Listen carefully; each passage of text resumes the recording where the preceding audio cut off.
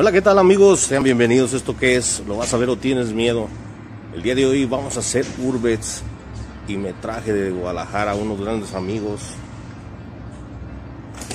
A nuestro amigo Luis de Jalisco Desconocido y a Leoncillo, que por ahí si no los conocen sus páginas, por ahí suscríbanse. Muy buenas páginas.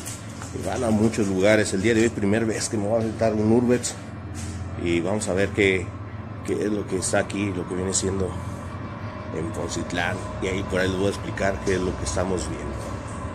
Para que no se despeguen.